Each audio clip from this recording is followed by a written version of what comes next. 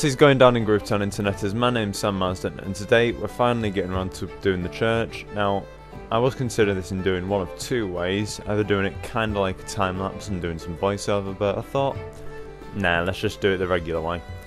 Now, I've set out some basics already, just a sort of width that's, uh, hold on, that my uh, minuscule brain will get the numbers in a moment. 13 long by however many it is over here. I'm sure you could probably count it through the uh, recurring patterns.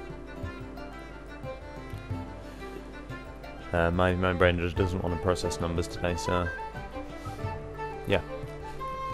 And just on the side, as you see with most English churches, there's a what I'm going to be, oh, I'm going to put a bell tower down there, basically. Okay, so let's get going with this.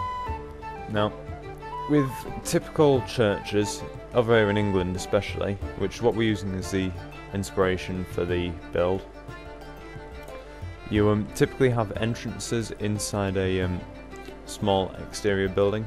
So we'll just uh, get how this looks first.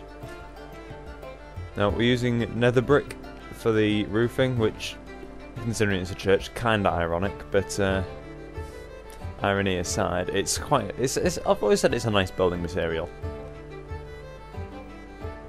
And um, normally I'd use something like cobblestone for the roof, because typically these old churches had lead roofs, roofs, roofs, um, until Henry VIII came along. Like, no, no lead roof for you. But uh, there's already going to be too much grey in this build, so we need to break that up a bit. It just brings a bit more colour. So that's more or less what we're going for with the entrance. Now at some point we're going to decorate that up a bit more. I want this to be quite tall. I mean, in terms of what goes into the middle areas to break up the wall, we can decide that in a little bit. We just want to build up a suitable height first.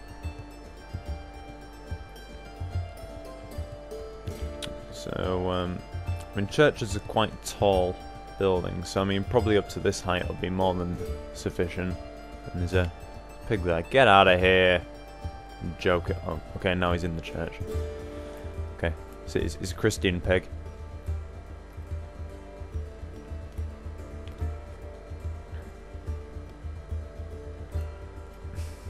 Christian pigs. Uh, once again, you can tell my sanity is just gradually drifting away. Just off into the sunset. Okay, so now we've sorted out the roof. We need to look into breaking up the patterns a bit of it. Now, for those of you who are religious, you know that um, churches typically have arched sort of windows, fairly big ones. Now, if I was doing this build in PC, I'd be using stained glass windows. Just, just another feature that PC is fortunate to have that we don't have yet. So I want to um, go through and put in some big sort of windows. I mean, you can make these five blocks wide and just make the um, arch look a bit more obvious. And maybe this is a bit excessive for Windows.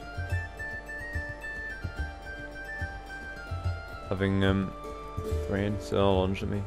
Yeah, I think having three in is a bit excessive. Smashy, smashy. So I'll make it um, three windows on this side, and it's probably just going to be two on that side because of the bell tower. Okay, so let's um, line this up and uh, bring it over to the other side. Oh, perfect. Yeah, we can get two on this side. Oh, there's a... That pig's back again.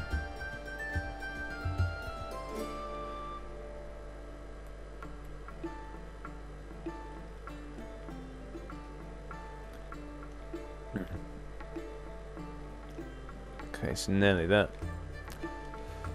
So we've got the windows in it. Now typically there's also a large window behind where the altar is, or the um, plinth. I'm not sure what the technical term for it is. I, I don't really go to church. The only time I've ever actually been inside churches was back in primary school, which is seven or eight years ago, tops. So I, I'm an agnostic. So uh,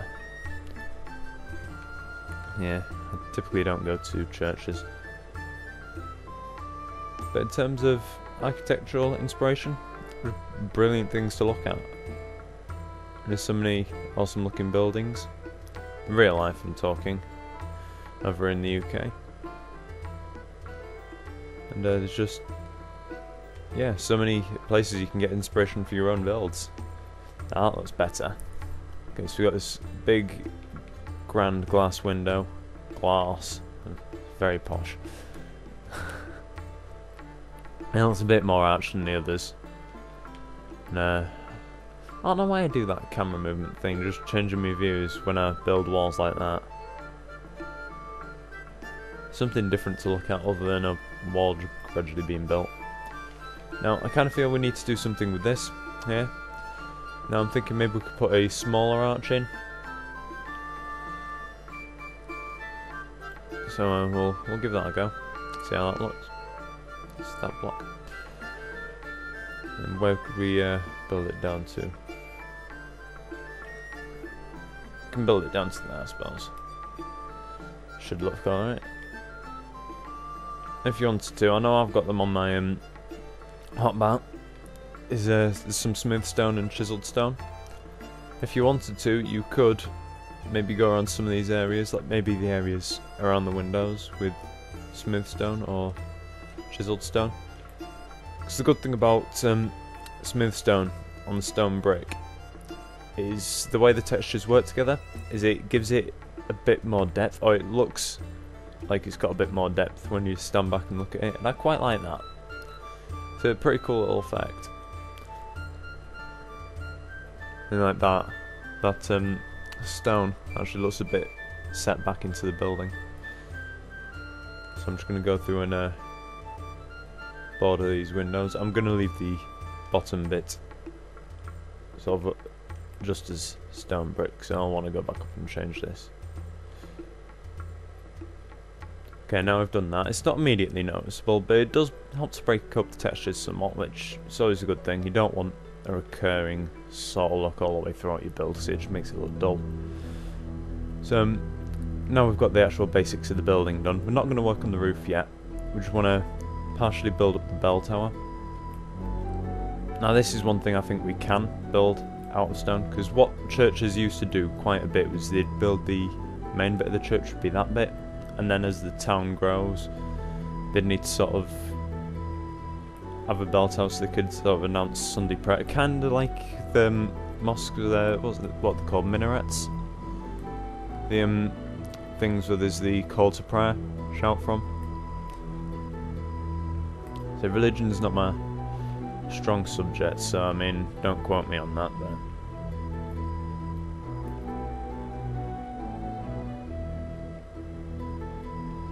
That's the point. Why are bells used?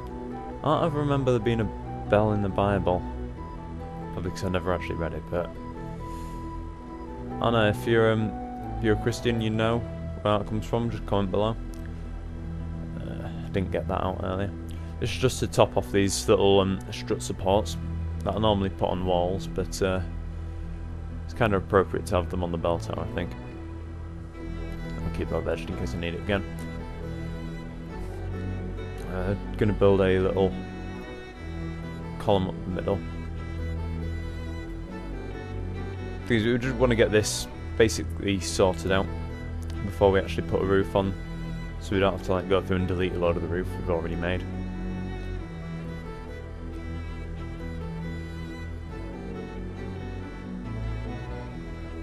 So yeah, that, that'll about do it there.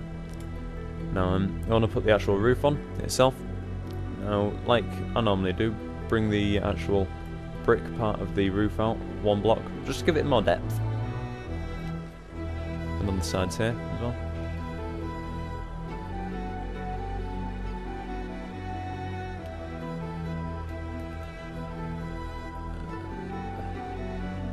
And uh, just awkwardly negotiate around the uh, bell tower. Not it. Oops. But it's, it's quite a simple roof design first. It's, it's nothing special, it's just the build up this side to side and then half blocks when you get to the top, which not too far off. So I'll do up to there so you can see one side done and then you just need to repeat it on the other side.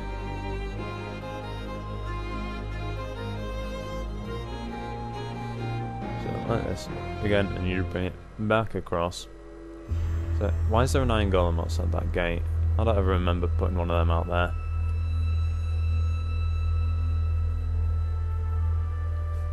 He's trying to photobomb this video.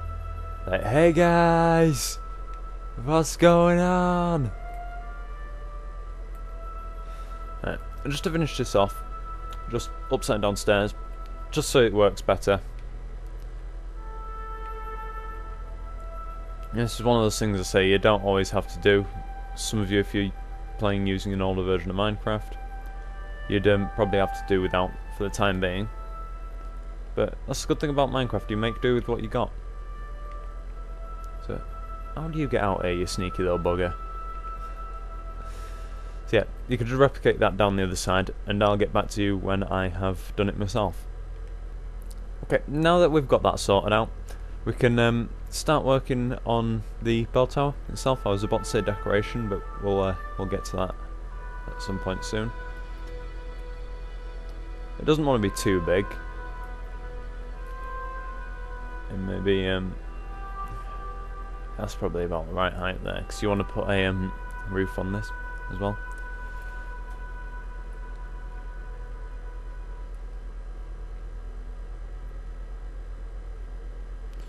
Now, for those who haven't seen a bell tower before, the way it works is there's like a system of pulleys, sort of at the bottom. Well, that's, that's one way. There's two ways. That's one way, and the system of pulleys will um, pull some gears and ring the bell, which is sort of the um, more typical way of a bell tower, or the more common way you find them. Oh, there's actually a circular spare, uh, staircase, uh, staircase up to the top, and it's just sort of there with a um, like a cord with the metal, big metal ball bearing on the end of it. That when it hits the bell, produces the tone.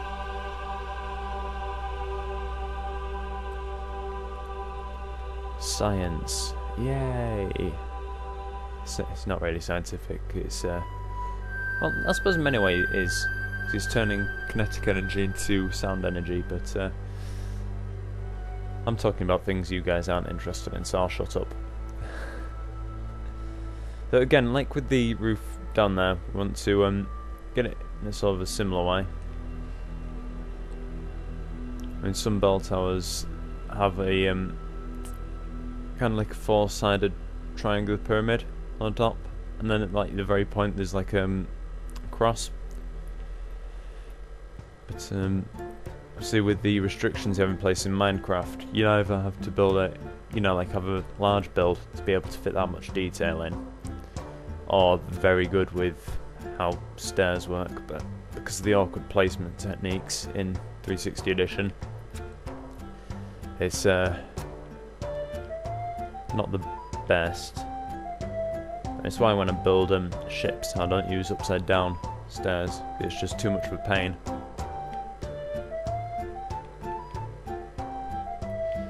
It'd look a lot better. It's like on the um, themed world I built where I've got that desert city that I showcased. I've got a um, little town in that with a big airship. I built that as soon as we got the update for the upside down stairs. So um, yeah, it's been there a while. I'm tired. Uh, sorry about that. But uh, that's that's what happens, kids, when you're up until three in the morning, drinking beer and watching the Ricky Gervais show.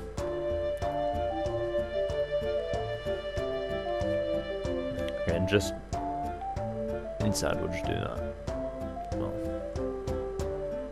This is the basics of the bell tower. Now, some bell towers will have like a um, kind of like an arch again, like the arch windows, but it'd be kind of like a, a mesh sort of thing in it. That's, that's, that's kind of what we're going to do here. I mean, this idea just occurred to me literally just right now.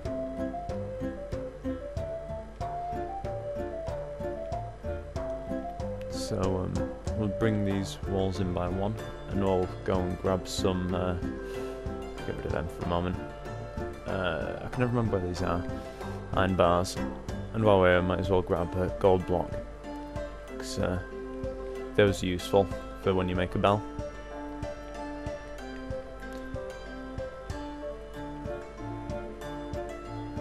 So I just want to fill in this area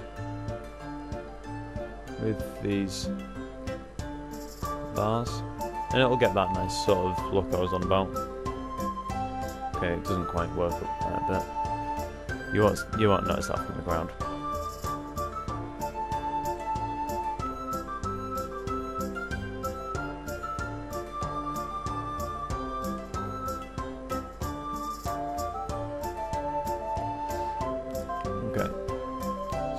Use some of the wood up here to produce what looks like the pulley system. And uh, this is going to be like the worst looking bell you've ever seen, but uh, it'll do. It'll do. Improvising. Yeah, it'll be fine. It looks crap, but to be honest, you're only going to see this from the ground, so it doesn't need to be perfect. The thing is, you can leave it dark up here as well, so don't need torches. What we do probably need though is... Oh, I didn't grab it then. Some fences. I'll just bring it back down here, and this is like that pulley that I was on about. I've um, another one going up the other side. And uh, I'll just let this happen rather than waste time turning it off. They really need to have this introduced as like a background running feature in Xbox One edition. Sort of, so it doesn't like interrupt the game. So I'm not sure about you, but it's really annoying in survival if you're about to encounter a creeper and he's about to explode on you and then autosave comes along. It's like the worst thing about 360 edition, I reckon. Other than the world size. I mean, I don't, I don't really think anyone's too happy with the world size. So we'll just we'll just stick a couple of torches in it just to light it up. It's pretty dark. So we can now take a look outside at the church. Now it doesn't look very church-like, does it? So what we can do actually is we can um put a actually this would probably be best made out of stone. To be honest. To my god, where are all these iron golems coming from? Oh, it's alright actually. Like. Just let me uh, deal with this golem epidemic. Are these just naturally spawning? Sorry, Mr. Golem.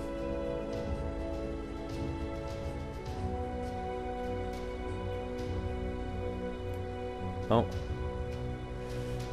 Oh, he's a raven golem. Your hands in the air like you just don't care.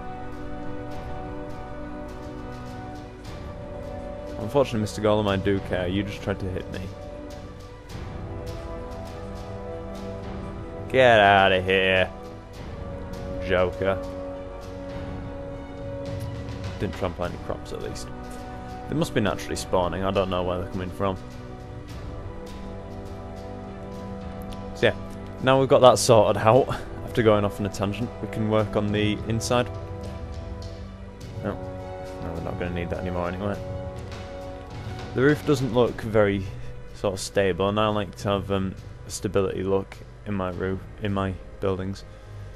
Now, in churches, from what I remember, there's normally like big wooden beams to hold up the roof. So like I said, they used to be made of lead before Henry VIII. And um, they obviously needed something that was quite sturdy to hold them up, so uh, let's just Oh, perfect that. So every two blocks, if you're building this to the dimensions I am.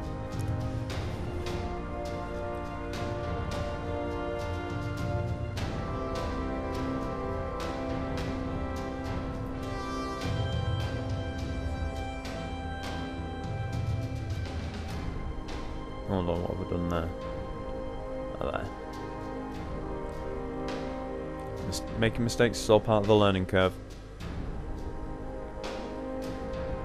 Was it Albert Einstein who said, A man who has never made any mistakes has never learned anything new?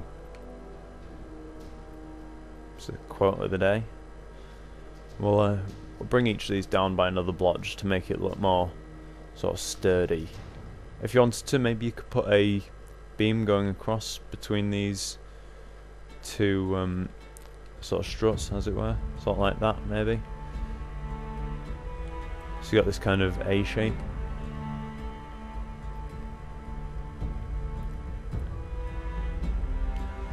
I'm probably about to get spammed with party invites. I don't think so. I think his mic's broken. Still. Going off on a tangent.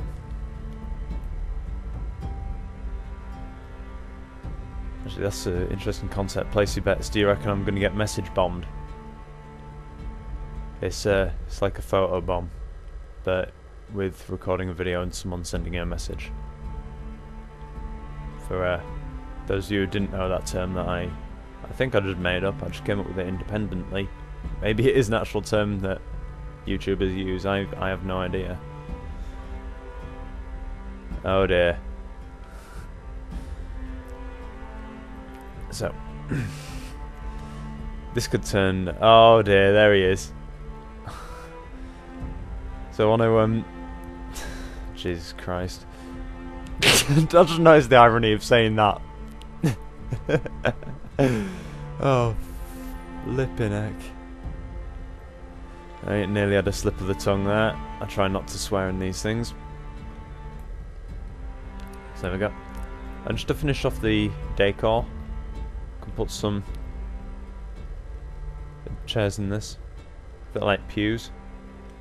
Fact, we can put them up to there. Because we've got the carpet down the middle that peeps can walk down. Peeps and priests. by peeps I mean peoples. Oh, he's, he's right there. Uh, hold on, I'll have to get back to you in a moment. But this is more or less it for the interior. I'll do the exterior in a moment. Okay, now that we've resolved that issue, we can get around to the outside decoration, mainly the graveyard, because, you know, it's, it's something that'd exist. Well, of course they exist, we have them in, uh, in real life, don't we? Unless you're um, fan of cremations. Sure. Whatever floats your boat, really. Now, to make graves is a really simple sort of design. It's actually quite widely used, actually. Use two half slabs like that, put a torch on one, and then a sign behind it as a headboard. So, um, yeah, I mean, I'm not sure what you'd want to put on those those headboards. And maybe, um, like in Shadow of maybe you're going to put some sort of comedy tombstones you know, find death a bit melancholy, don't we? I mean, introducing a bit of humour is, it's alright, isn't it? I put down uh, on the grave Justin Bieber, thank God for that. It's like his epitaph. The dude's out of control, I mean, especially the amount of times he's been arrest arrested recently. Nutter. Put a tree in there, I mean, you don't want it to look too devoid of life. I know that being a graveyard, it's kind of the point, but uh, you want to have it. I mean, graveyards are sort of normally well tended, aren't they? So, yeah. Um, you could even build a little crypt as well if you want. So, um, actually, build one pretty quickly and uh, don't need you know, don't need to be huge. And there are probably better guides out there for building crypts, but uh, this is just me quickly throwing one together.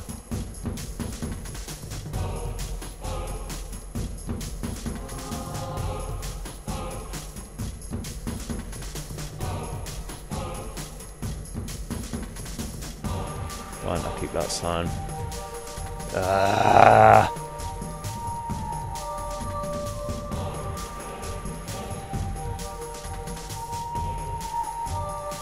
Oh. Okay, someone's buried in the roof. Um.